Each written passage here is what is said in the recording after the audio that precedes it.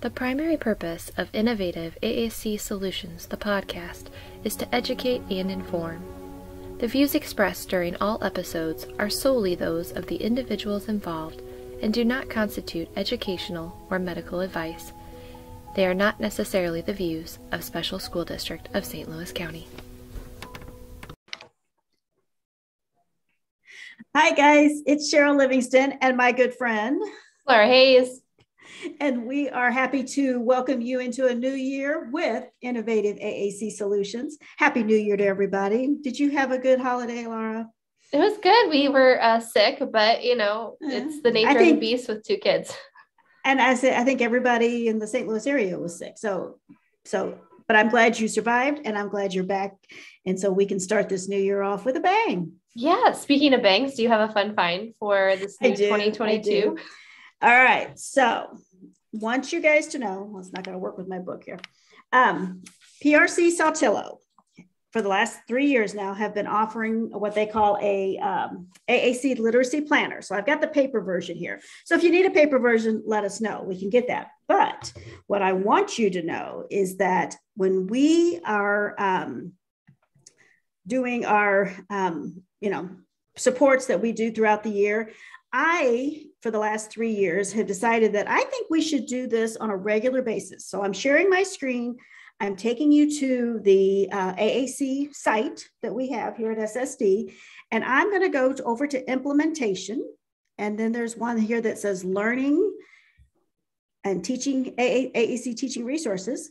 I'm going to scroll down then to AAC Learning Resources for in-person and virtual instruction. So this all started when we um, were virtual in 2020. That's the first year that PRC offered a literacy planner. So what they did was they took a book every single month and they gave us a lesson plan. And then I took that lesson plan and expanded it to have even more support for all kinds of AAC systems. So I want you to see just real quick um, the fact that you can go back and look at the 2020 literacy planner, everything that was there before. You may want to go back and revisit, or just you know books that you didn't have, uh, didn't use before, you could use now. 2021 was what they call the book club. And what they were looking at there were chapter books. So they were emphasizing that older students maybe would like to choose a book as a group to have a book club. And they had the classics, some of the, you know, best love, best um, well-read books of you know the last few years. So they have those. I did a sample one for this Escape from Mr. Lemoncello's library. So there's supports for that. But I want you to go and check those out too because you might find a book that your kids would really, really enjoy and you guys could read it together and also then talk about the story. And then I go back to this year now the 2022 literacy planner. So just as of today, I released, put together all the resources. And this time our story is Be Brave Little Penguin. So I want you to know that for all of our kiddos, this is a good story, especially you know when we at times that we need to worry about you know our kids are struggling and they, they need resources and they need ways to talk through some of their feelings. Well this little guy this little penguin is afraid of the water. So we're going to make sure we you know talk about what he's feeling and what we could do to help. But also just a note for our older students there is a lesson plan for amazing adventure I'll try to get amazing animal adventure pack. So we're talking about penguins, but we're talking about more about their habitat and and how they um, you know work together. So there's some Tar Heel reader links, there's um, suggestions, things to do, activities to do. So, um, so there's all kinds of good stuff. But again, back to I wanted to make sure that when you are looking at this lesson plan, if you don't have the book available, I have linked the YouTube videos of people reading the stories aloud. And I have to say, guys, I think every book known to man pretty much has been read and recorded on YouTube. So that's not a problem. So you can watch it, but then you can also go through and sing it. This one lady put it as a song. But then um, I wanted you to have activities to do. I wanted you to have a chance to, um, you know, talk about the vocabulary. So I got smart charts that were in the literacy planner already for LAMP and um, Unity 84 but then I also did them for uh, Word Power. I did them for, get down here, um, the different couple different word power versions. I did it for Proloquo2Go. I did it for Snap Plus Core or TD Snap. And then I did it for our 63 core board and then the new owner 35 core board. So I'm hoping that it's easy for you just to pull it out, start talking, start going through the activities, start, you know, having a fun time and to spread it throughout the month because you know you've got a whole month to talk about this and it will be fun and maybe you know divide it up so that others that are um, you know taking your kids as far as your opportunities for the kids to work on it they could have different things that they do in different times. So um, it's something that would be good for um, all kinds of for good reasons i hope and so cheryl um, can you tell the listeners too just is it is it just like a one and done with with this as far as the literacy where they read the book and, and then they're done and they use the smart charts and then they're done? No it's supposed to be and again the lesson plan. They actually have activities for you to do. There's you know like on this one we're going to make some sensory things and and talk about you know what's going on with the penguins um, no i think and my theory about literacy is our kids like to hear stories a few times. So you can break it down into maybe one time we just read it, and then the next time we read it and we talk about one section of it, and then we read it again and we talk about a different section. So no, it, it's meant to be a multi process, multi-step, multi multi uh, involved process because of the fact that the more the kids are hearing it, the more they're relating to it, the more they're going to share, and that will give them a chance to feel comfortable about the information and and and kind of bring up more about what they're how they how can how they can associate what they're feeling with what the penguin's feeling. So no, it, it's meant to be a month long. I love that you mentioned that there's some sensory activities with it. So, you know, if we're doing a science lesson, we could carry it over to science and we could carry it, sounds mm-hmm. like we could carry it over to other oh, yeah. lessons like math and math, right. even some and social then, studies concepts. And, and it's going to relate to the weather. It's cold outside. So these penguins that's what their habitat is. So we can talk about how how it what it feels like and what, what ice, you know, they're standing on ice cubes. Well, what does that feel like? So yeah, no, you're right. Lots of different ways. And then it's not just this month, right? We we have right. so extra resources be, for this month, but where, where would right. they go back to find February's? So when so when I get February together, um, and also should I should say this whole year for the, the planner, it's animal talk. So every story has something to do with animals. And they aren't geared towards younger kids as far as the books go. But I don't want us to defer from the fact that that sometimes makes the stories easier for our oh, even our older students to um, have a chance to process that information. We're not trying to overwhelm them with too much um, literature. So um, the next month they'll go back to the AAC site and if you um, need help getting there, but a lot of times I think all of us, I know my, when I do an email, the bottom of my email has a link to, to the site. So you just go back to our site and then on that um, section with the implementation ideas and uh, strategies, you click on that and then that'll take you to the 2022 planner and then I'll post the one for February. Perfect. I think that's a, a great resource that sounds like it's already kind of created and again mm-hmm. if you mm-hmm. if you're out for a period of time knowing that sickness is going around if you're out it's an easy one to hand over to a sub as a sub mm-hmm. planner um, i think mm-hmm. i think a lot of people will it's a really good fun find i think that, that we're starting the year off with a bang for sure and also share it with families um, definitely the you know just listening to the story can be um, I don't know. I, I again, I love snuggling up and reading storybooks together. So even if the book isn't something you could hand to somebody, giving them that link and they can listen to it, and um, you can pause a video at any time and talk about it. So yeah, it's it could be a, a multifaceted uh, kind of ex- extension of you know stuff you're doing at school. But I hope the kids perceive it as fun, and I hope they perceive it as something that they can share, you know, information and share what they're learning with others.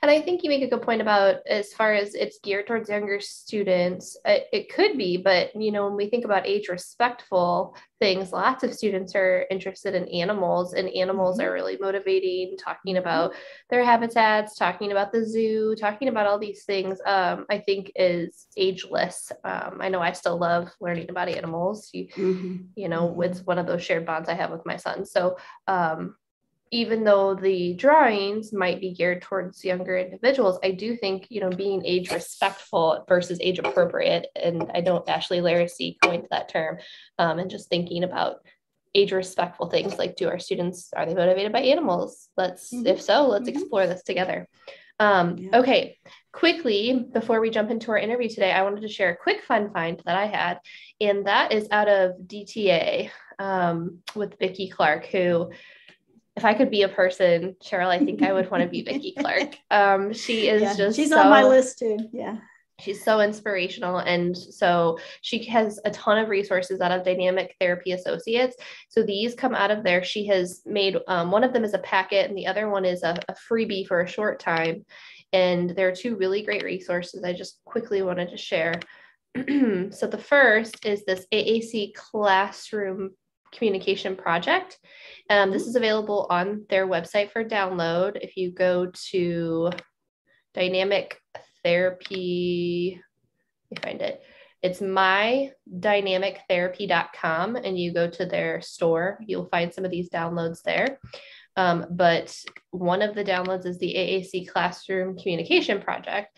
And I like this find because it has tons of resources. So if you were sharing this with a parent, there's already references, but it breaks down learning tools and um, kind of progress monitoring tools so that you can track um, percentage wise where your student might be kind of at as far as their communication skills. So, what percentage of their wants and needs are pre symbolic? Um, social exchanges, what's pre symbolic?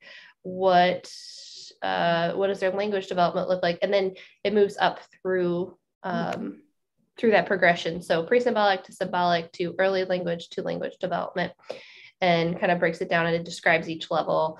Um, it's not meant to be something that's an assessment. It's most it's meant to be like a guide and a learning tool to kind of see how far they've gotten in a specific amount of time. So I really really like that because again, some of our students maybe we're we're focusing on this big goal, uh, lofty goal, sometimes of sentence level mastery of wants and needs but maybe we need to do a little small stepping stone of orientation or um, indication of a choice with when two objects objects are available, things like that.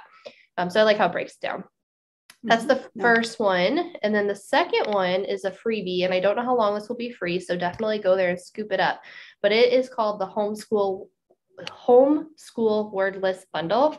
And I feel like we, at least once or twice a semester, we get asked, well, they don't have any reinforcers or motivators, or they're not using it at home. Um, this is a really great implementation sheet that you can share with family so that they're involved as well as at school or if you're trying to get gen ed buy-in um, these are just different planning sheets that you can use as a team to kind of decide what specific vocabulary do we need to make sure that they have access to as well as maybe even program in their system. Like today i was just out dropping off a device and ranch dressing like I would never have guessed this, but ranch dressing needed to be on the forefront of the food page. Like it was not in the system. Surprisingly, I thought it would have been under condiments. It was not. But this, yeah, but that's specific. Was, yeah, yeah. It was this okay. kid's jam. Wow. So so it's just kind of this guiding tool um, helps kind of identify some of these things for our students and um, helps us personalize it so we can meet yeah. their needs. I love when they, anytime you can hand somebody something that's got at least a few things on it, it gets you thinking. I think when we go in and we'll say, well, what is he like? It's too broad, it's too vague. But when you start breaking it down, then, like you said, food wise, not just dressing, but ranch dressing and all day, every day. It's not just on my salad, it's on my french fries, it's on my maybe by so itself. Yeah. I mean, oh, I yeah. Okay. He, he really, I can't, I can't, say I'm that big a fan, but I do like ranch dressing. Yep. And, it, and it seems like more and more recipes call for the mix, you know, the powder, you add it to different entrees more so now. So, yes, I can see where maybe that should be on everybody's device. I never thought about it. Yeah. So, um, like I said, there's one for home and for school. So it can definitely be used across settings. Mm-hmm. So we'll link these in the show notes. Good. Yeah, those are great. As show notes All go, right. Cheryl, I gotta, I got, I thought I would start us off with a bang. I have the wonderful Kate McLaughlin, and uh, she, most people know her better known as the AAC coach. She is a wonderful SLP with tons of AAC knowledge. And what's it been now? Two years since I think she started well, sharing resources? I was going to say, I, I, again, we've gone through quite a bit of time where we were, you know, looking for support virtually. She stepped up I, that's my first recollection of when we became familiar with her was during that time and she stepped up and really really gave all kinds of information all kinds of graphics i, I love, love i don't did, did you ask her who her artist is because she's she does a the beautiful job of something that captures your attention but it's not so busy or it's not so um, hard to figure out. It's just I love the way she does it. So um, she, I think I'm going to say that if, if she hadn't already started, she started right at the beginning of when we were shutting down. So she definitely has been about two years.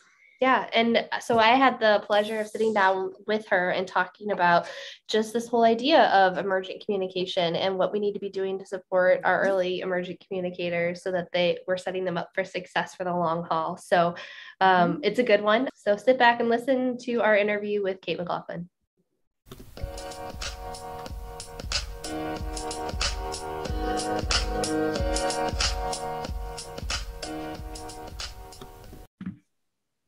Guys, welcome back to Innovative AAC Solutions. I cannot even tell you how excited I am for our interviewee here today. Kate, welcome. Um, we are so excited to have you. Hi, Laura. Thanks. I'm excited to be here. Do you, I mean, do you basically just go by Kate or do you go by the AAC coach now? I go by Kate. Are you? I, I kind of wondered. I'm like, you know, because the AAC coach is on all of these these posts. Is it something where you're like, oh, I wish I would have picked something different? no, you know, I don't know. If you, I'm not great at picking that kind of stuff, but it, you know, I was looking for something that didn't feel too academic, um, and and so we went with the AAC coach after a lot of back and forth. But yeah, so tell our listeners a little bit about I, have heard you talk about it. I know your sister had some had some involvement, right? With the how you developed the AAC coach. Oh no, not Oh my oh sorry. Yeah. um so she she kind of helped with some of that, right? But then just tell our listeners a little bit about your background and and kind of any any little tidbits that we would it would be helpful to know.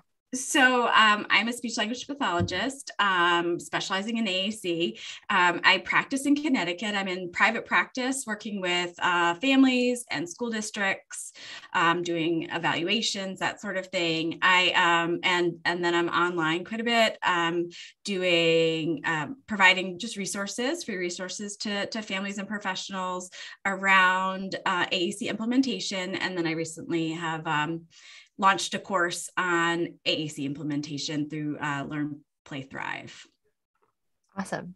So am I am I wrong in thinking it was your sister your sister has a marketing background? Is that am I making this up?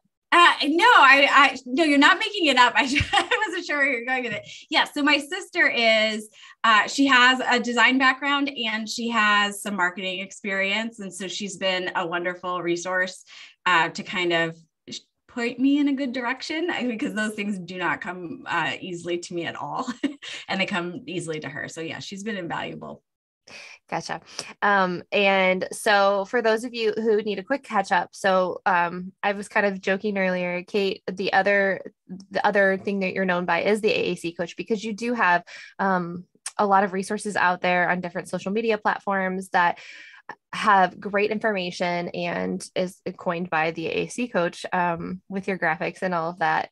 And I think they're so helpful because they're easy to kind of understand and they're simple and they catch the eye. And I think that they're something that a lot of people have learned from, and I think probably given you a lot of good feedback on yeah and that's really the um that's really the hope right? Kind of like you in this podcast is providing digestible chunks of information that people don't feel overwhelmed because so much information that's out there is really academic or a lot of information all at once or in a really long form. And i think uh, a lot of times people learn better if it kind of uh, trickles in over time. So uh, kind of same idea.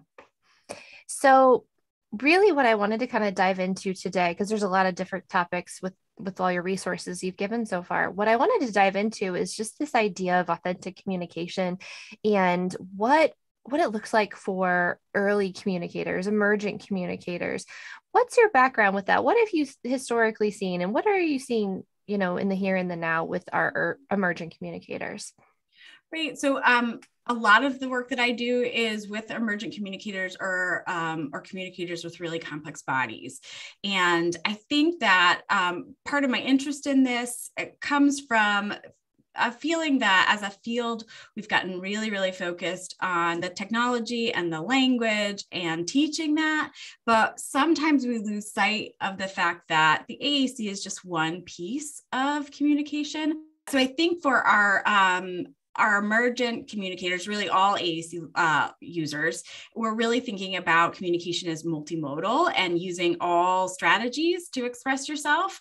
And I think that's particularly important for our emergent AAC learners that we're not so heavily focused. Obviously, we want to be modeling on the device, that's critical for learning, but we don't want to be uh, expecting too much from them through the device early on. So we really have to be thinking about how are they communicating now?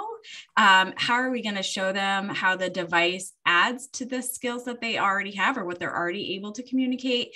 And how it's not extra work for them it's something that augments that. And, and i think also even uh, for our learners with really complex bodies even for whom may not be emergent um, an understanding of what multimodal communication looks like is also really important because AAC can be uh, very um, fatiguing or the amount of effort it takes individuals with complex bodies. And so it's smart for them to use more than just their AAC to express themselves. It's how that they can be as efficient as possible and save their energy for other things that are really important too. Yes, absolutely. What would you say to someone who um, feels like there needs to be some scaffolding or some stepping stones to to access, and what does that look like for emergent communicators versus someone who you're like, oh, we know that their receptive language is high, and we know that they um, they need a robust communication system. What would what would your response be to that? Well, I think everybody needs a robust AAC system first and foremost. Um, I, I, think that when we, whenever we're planning for uh, language development, we have to be looking at the long term um, and making decisions based on that long term, so that we can um, be, you know, getting the right uh, tools and skills in place. But I do think that there is a place for uh, modeling a robust system while individuals work on developing their access skills. So just because a learner uh, isn't able to point yet or isn't able to use switches yet, that doesn't mean that we're not giving them AAC. We want to be giving them AAC because the AAC is actually the language, which takes a long time to learn. And if we hold uh, hold off uh, implementing until they are demonstrating um, a physical ability, uh, we're really just uh, wasting time, quite honestly. And, the other piece to that is um, kids get ready when we uh, we offer an opportunity, and and so by offering AAC, they may see more of a reason to work on those skills.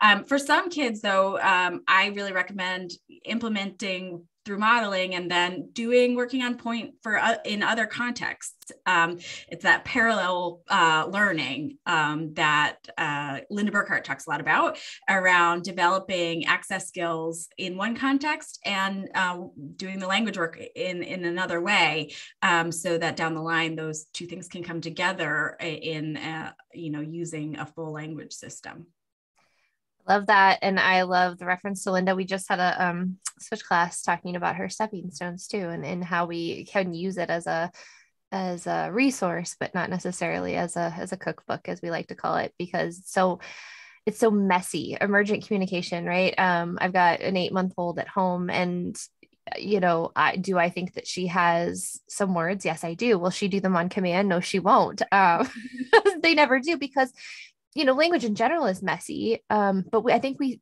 forget or we think that individuals need to prove themselves before they can take the next step. Um, and so I feel like those are good reminders just to make sure that everyone understands that just because it's never going to be 100% accurate, like sometimes it's not even going to be 80% accurate, but doesn't mean we don't give them access to the next the next point. Um, so they yeah, can and the more complex the body the less likelihood they're going to be consistent in any way and that's okay and that's expected and um, it's really about creating an environment where aac is a language that's spoken and um, of course we need to also i just just to add, when we are selecting whatever that robust language system is going to be, we want to make sure that it offers a way to access it efficiently using whatever access method we think a learner is going to be able to um, develop skills for. So there are some systems that are wonderful direct for direct, direct selectors but are cumbersome. And so uh, the systems that aren't designed with scanning in mind um, may be cumbersome for a, a switch user and um, maybe not as efficient as they could be with a system that is designed for scanners. So when, when we do that, I like to look to systems that are as flexible as possible for meeting the needs of um, many learners. So if if a staff was listening to this and they said, well, you know, I don't know where my communicator might fall, what would be some things you might see characteristics that um, would qualify someone as, as kind of an emergent communicator? So we think about emergent communicators. Emergent communicators are anyone, regardless of age, who does not yet have a consistent, reliable means of um, symbolic expression. So they don't have a way to communicate using words or signs um, or text that they can that they can rely on to express themselves. So really, it covers a wide range of ages and a wide range of learners.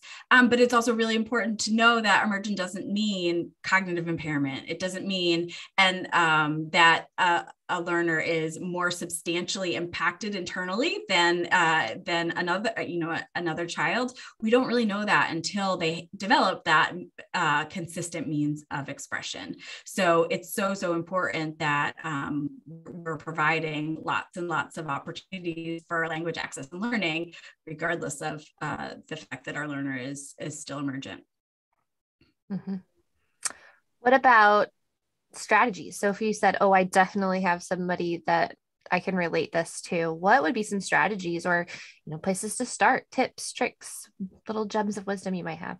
Right. So assuming a, a, a, robust system has been selected and made available, I really look to what is the learner interested in, at following their lead, um, talking about what they're interested in or paying attention to, um, noticing their um, non-verbal communication so things that are not symbolic not language um, be it gestures body language facial expressions um, and verbally referencing those um, th- that communication. And by that i mean saying what you see. I see you going to the door and then telling them what that means to you oh that makes me think you want to go out and then modeling that message on um, on the AAC system so that they're seeing your communication is successful. I'm understanding you, and here's some language that you could use to express that if I didn't understand, or you know, or if somebody else didn't understand what that meant to you. So I, I think that that um, following their lead and being really responsive to their communication and modeling what they're expressing is really um, my my go to.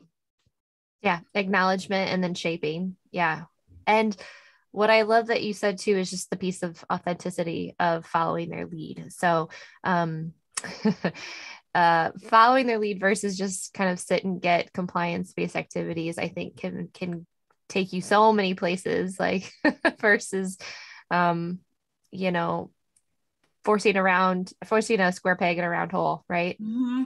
and you know interesting that you say compliance because you know so much of what we want for our AAC learners is to be able to communicate whatever they're thinking. And then we come in with all these compliance based teaching strategies, telling them what to do and when, and they have to follow our lead. Well, the problem with that is we don't know what they actually want to say. It has to come from them. So our intervention has to follow them if we want that as, and that's why I say it's so important to have that long term vision. If we want, um, long term for the communication to come from them, we have to be focusing on that from the very, very beginning.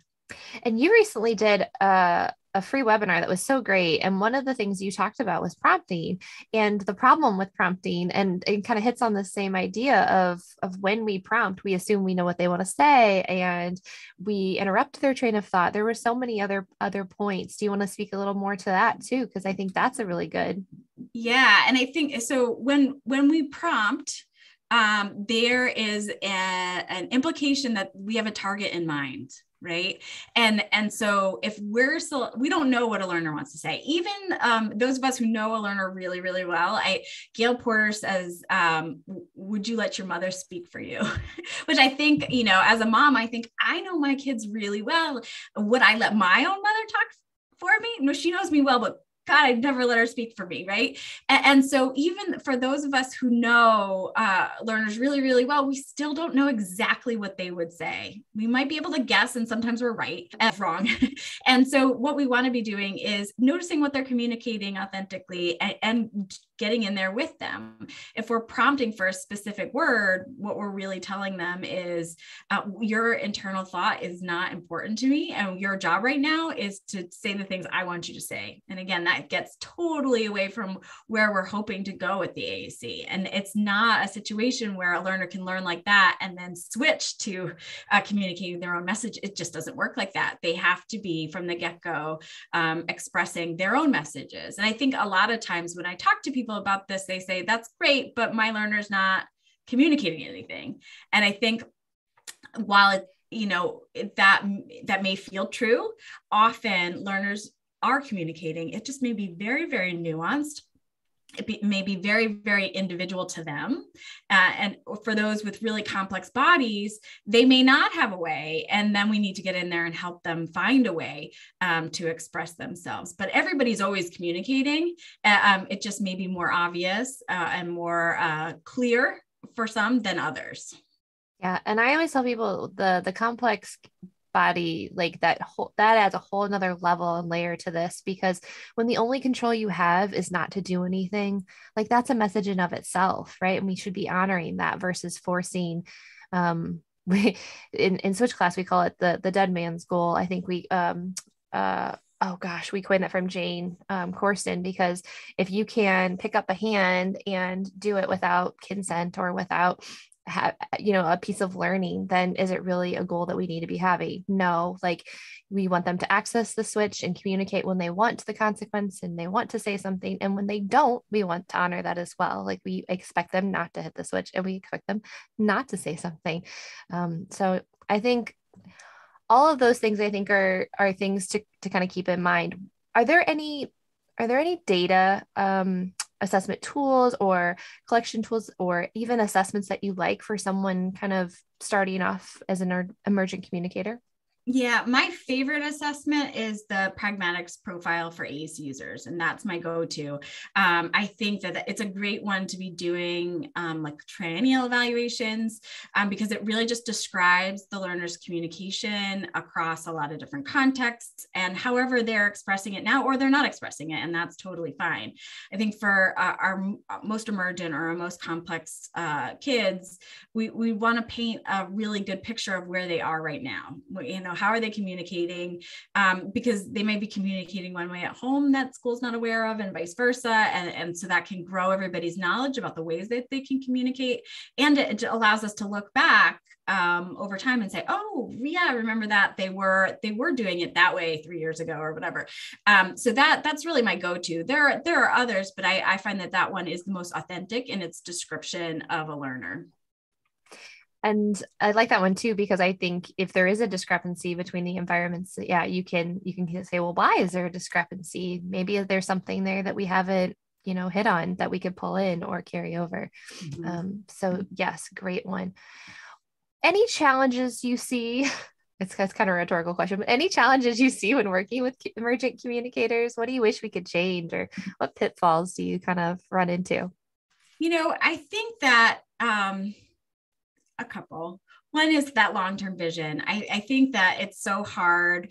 Um, you know, as somebody who's worked with lots of emergent communicators, lots of emergent communicators with really complex bodies, I know what's what's possible. And so it's easy for me to come in and say, yeah, you got to get a robust system in. Yeah, we got to do this work and that work. And as sometimes people look at me like heads because they're thinking, are you, you're not even looking at the kid who's in front of you. But I have that experience of working with a lot of kids over a long period of time to say, no, I know kids like this. And I know that they're conversational now after so many years of work. So I think it can be so, so hard. It is a bit of a leap of faith um, with uh, really emergent communicators and, and, the more complex, but it's such an important one um, to to uh, to really trust the process and and know that it's not a uh, you know we may we didn't avow the decisions done this is where we're going. It can shift over time to as we learn more about the learner but it's having that long-term goal and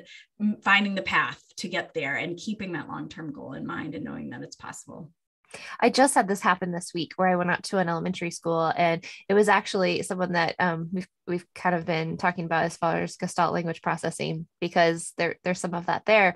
And the team is like he's just not ready. He doesn't uh, we he won't he won't touch a device. He doesn't understand what the device is for.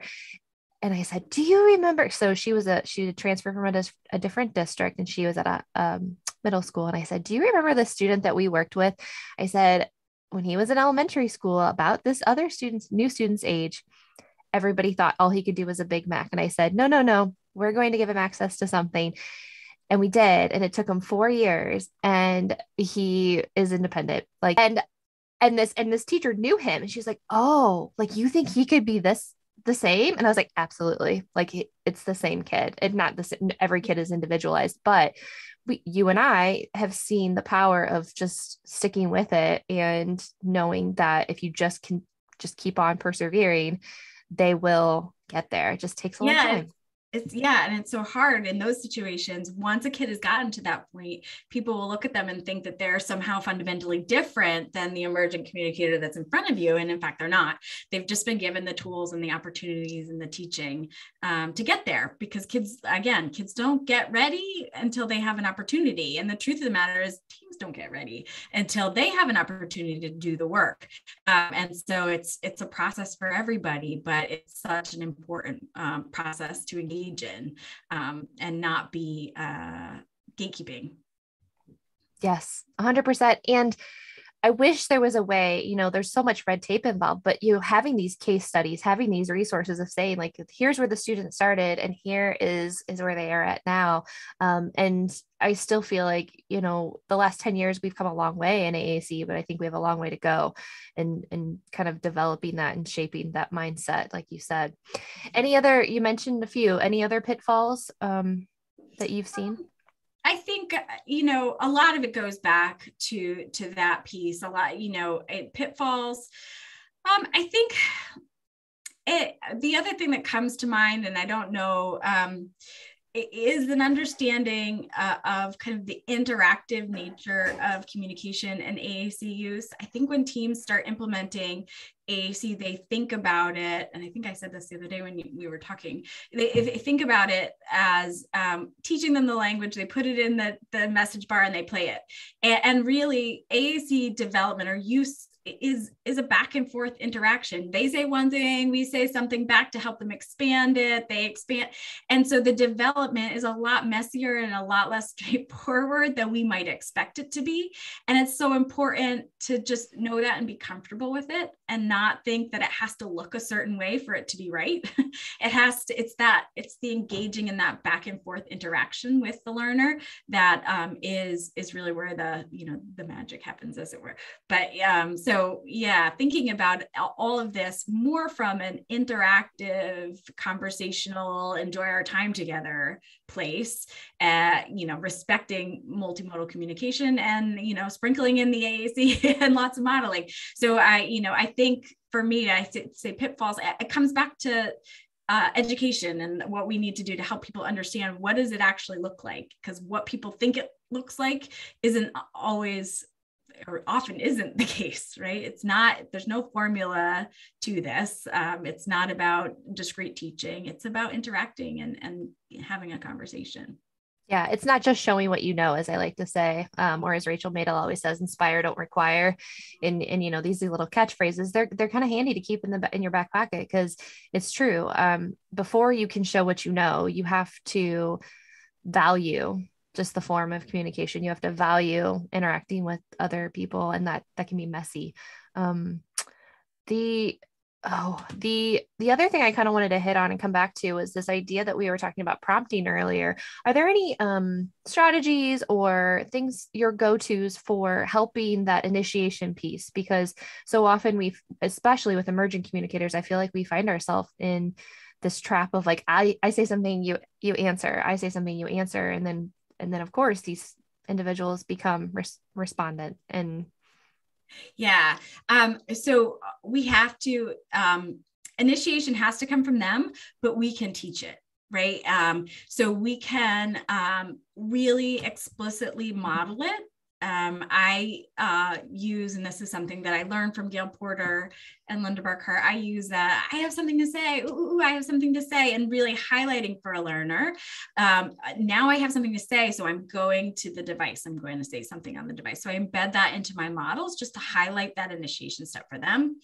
Um, and then um, using that language when we notice that they have something to say. So rather than prompting them to say something, I say, Oh man, you look like a person with something to say, or it looks like you have something to say. Um, because over time, if they've kind of learned that when people have something to say, they go to that, that, that device, um, that can be really helpful. And the other thing, particularly for, uh, and I, I should say, I also use that verbal referencing technique of, oh, I have something to say. I am going to the device to say exactly what I'm doing. Or, oh, I have something to say. I'm touching the, the book to let you know I have something to say.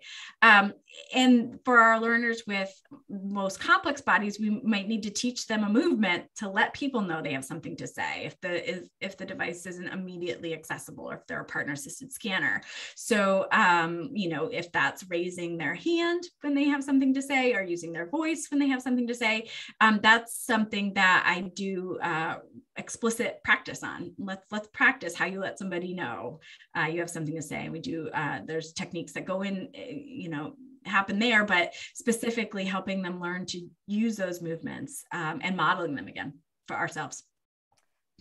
Love it. And um, any listener that's in the district that would want access, we do have some. I have something to say bracelets. So reach out to your facilitator, and we can we can talk through some more strategies there because I love those mm-hmm. ideas. Thanks, Kate. Um, what would be some good strategies if you if if you know a listener is is like yeah i have an emergent communicator i'm doing all the things that you've said kate like i but i'm still stuck like they're struggling what what would be some good strategies or supports for someone who isn't making steady gains in that area or struggling with what's in place? So if we're doing all the right stuff right and so it's it's worth taking an inventory of yourself to say am i doing all those things? But if we're doing all those things and we're still not seeing progress or the gains that we expect i think we need to stop and reflect on why that may be so there may be something about this learner that we're not recognizing that we need to support better. And I've seen that. I know you and I've been talking about Gestalt language processing is one of those reasons. I've seen it for learners with uh, cortical visual impairment or you know some other reason, uh, be it a motor skill that we haven't addressed. There, there's probably some gap there that we are not supporting the learner best yet.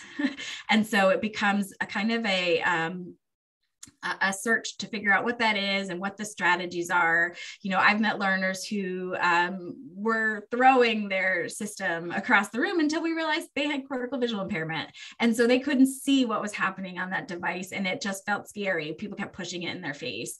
Um, and, and, so, but by switching some of the way we were presenting the device, uh, switching how the visuals looked, um, they were able to process that visually a little bit better or, you know, do it auditorily. And then they were able to make gains with their system. So it comes back to troubleshooting and thinking really creatively and getting curious about the learner. And then also know um, if you're doing all the right stuff and you uh, are thinking through all of these, trying to it, sometimes it just takes time. And that's okay you know um, i have seen learners where it's been modeled for a year before they say something and that's okay. That's i mean during that year you bet we're thinking about all the reasons why not and trying to problem solve but for some learners it just does take a lot of time and that's okay. Um, again we're on this for the long haul so we don't give up. We we try and tweak to make it more effective. Yeah and and that puts the onus back on us as as implementation partners and trying to do the detective work and try to think creatively outside the box and not say well the system isn't working for them let's just throw it out. Let's do mm-hmm. something different um, and focus on the technology. It really comes back to to us and, and them. Um, okay. So before I let you go, I always ask everyone who comes on the podcast, what is your favorite AAC moment to date? Um, date. Yeah. Oh man. I'll have to think about that one. I, I you know, um, actually one, one thing that happened recently um, that just made me so super proud. Um, i have a learner uh, she is 16 now and um, she has been working so so hard. She's one of those uh, learners who was like such complex body had very little movement uh, when she was younger. Um, we got her on a partner assisted scanning system. We started working on switches. I mean she's been on this now for eight years this journey. And so she's conversational but she still has a really complex body and has to work really hard for her her communication. So when she does say something, it's because she it's important to her to say it uh, and so she had a, a, new classmate join her who also has complex communication needs and they're in different classes there's inclusion happening but they they have a, a, a during the day they often interact and and he um he is uh in the process of figuring out AAC with his team, and she used her AAC, and I can't, I wish I could recall exactly what she said, but basically, the gist of the message was she was advising him to pretend like he was sick so that he would be sent home.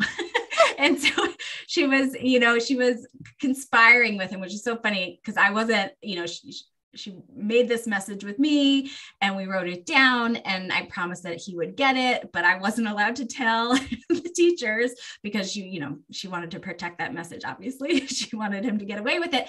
And then the next day he did try which was i just thought was so fabulous because it was just so like these are kids being kids and wow how far she has come that her skills allow her to do that.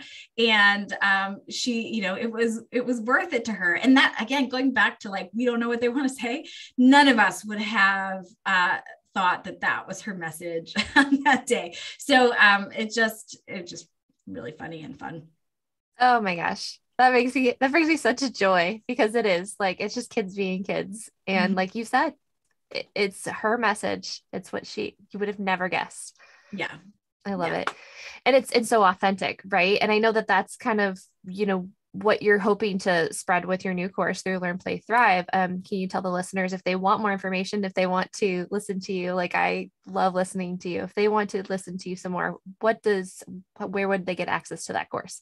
Yes, you get to listen to me for many, many contact hours in the course. So the course is available through Learn Play Thrive. You can get access to uh, the information through my website or through Learn Play Thrives or my social media accounts. Um, it is uh, a course that's offered for ASHA CEUs and AOTA CEUs, um, and it covers um, everything from just background things you need to know about AAC to assessment and implementation and, and some information about implementing in schools. So it's a, it's a big course, not gonna lie, but there, it's jam packed with lots of information and videos, which I think um, a lot of people just wanna see some of this in action. So there are videos in there, um, both videos of me working with clients and videos of uh, animated videos that I've created to kind of highlight techniques. Perfect. Um, so we will share your website and social media information in the show notes. But if um, anybody has a specific question, what's the best way to reach out to you? Um, definitely the the social media um, through my website. You can also uh, get me. So it's at, at, the AAC Coach on Instagram or AAC Coach on uh, Facebook. Um, I tell people ahead of time. Don't feel free to uh, send more than one message because I do get a lot, but I, I do try and keep up on them.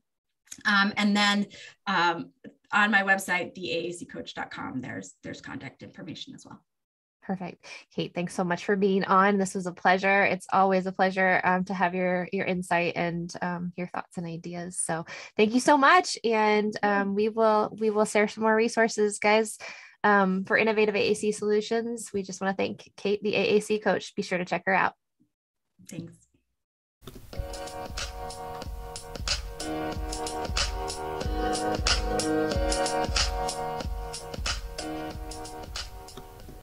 So, for our innovative resource this week, we wanted to highlight the AAC Coach website as well as her Authentic AAC course. If you go to theaaccoach.com, you'll see that Kate has a ton of resources under her free downloads, as well as just her overall overview of her services. When we go to free downloads, you can see that she has a link to all of her files on Google Drive and then also highlights each of those posts that she has created on social media so that you can easily download them. If we go into Google Drive, you can see that they're also downloaded in different languages, including Spanish, Portuguese, Italian, French, English, and Dutch. And then once you go into the file you need, she has both activity and topics. For example, if we wanted to model with Play-Doh. Here are some active. Here are some different um, resources as far as target vocabulary for different pragmatic functions. And informational handouts. These are great for staff and just kind of having as reference, such as a think aloud, as we mentioned in the interview, or verbal referencing. And she has them both in black and white for easy printing or in color. So definitely take a look at those resources. If we go back to the website itself, you can see that there is a link to her Authentic AAC course as well, um, and registration information available there, including the ASHA CEU information and um, the availability for topic-paced, self-paced instruction.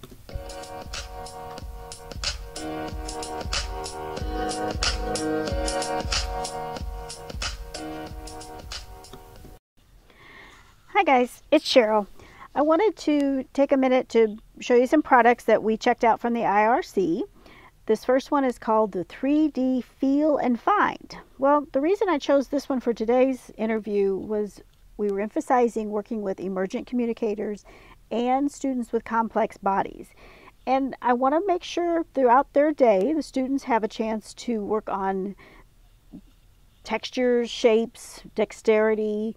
Uh, we talked about access is huge for success with a communication system. Well, the more a student has opportunities to practice manipulating things or finding things or um, differentiating between what this feels like versus what that feels like, it'll be helpful. And we also mentioned in the interview that there's working on language, but then there's also working on other skills. So this is one of those other skills that could be easily done, you know, in the classroom.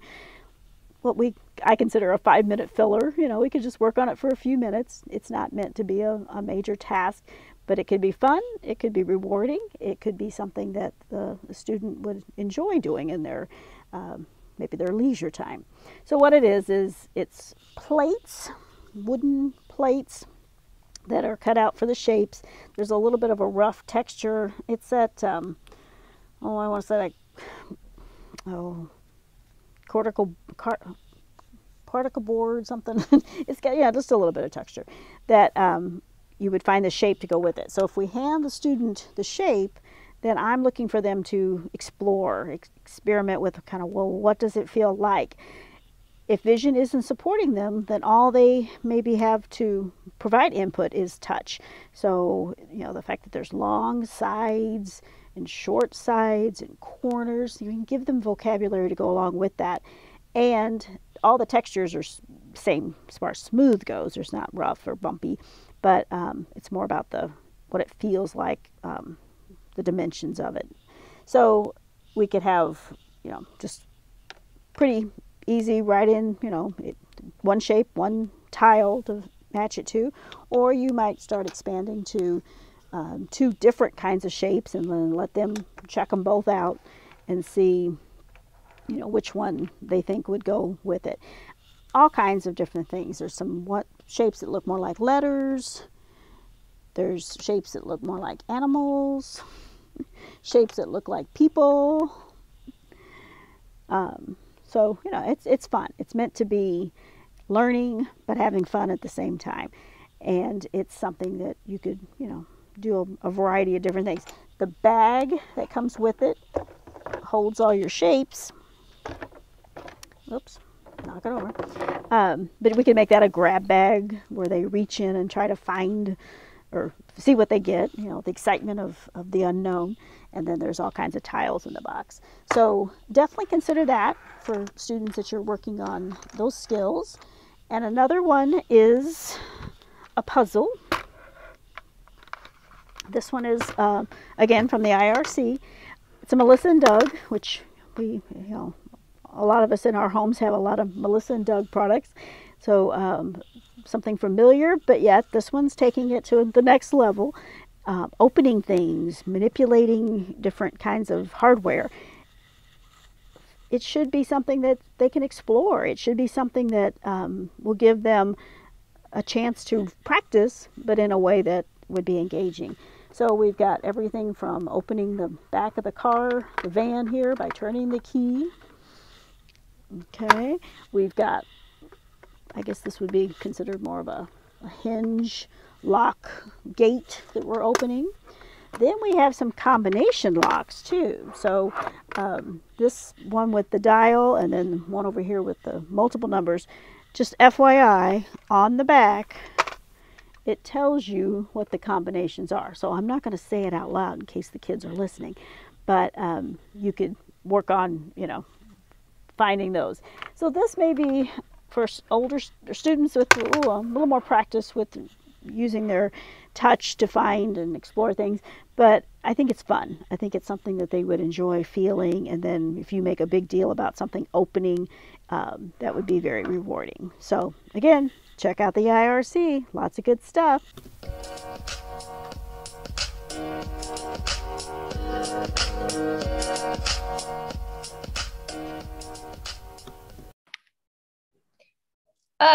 I wish I had more time. Like I, I wish Yeah, this was yeah. like an eight part series where we could just do Yeah. hours of time talking to Kate because she's just got so much in there that you know that she could share. Well, and for those of you that can take advantage of her course, you know, I'm sure that's what that will be is just lots and lots of time listening and learning. Um, but yeah, and I, I love her demeanor. She's just real laid back, and I love her way of thinking about our kids. When she was talking about, again, look long term, I think that's something that we all need to remind ourselves because we get kind of distracted by the immediate and the the bells and whistles, but um, she definitely made me remember that I need to always be looking big, but we need to step through the process, not just run through it.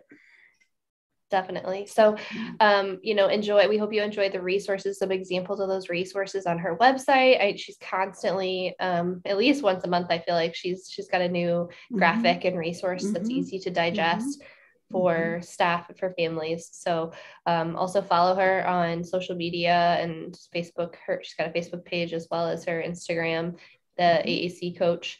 And um, it hope we hope you enjoyed this this latest episode. It's I can't believe it's Mhm. 2022 and we're starting this year off.